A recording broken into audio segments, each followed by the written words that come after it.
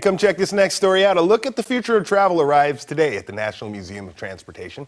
Virgin Air Hyperloop's Pegasus pod is now on display at the museum in Kirkwood. The pod came here from the Smithsonian Institution's Futures exhibit in Washington, D.C.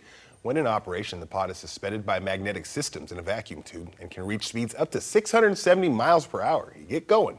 It can transport cargo and people with zero direct emissions. The Pegasus pod will be on display through the end of November.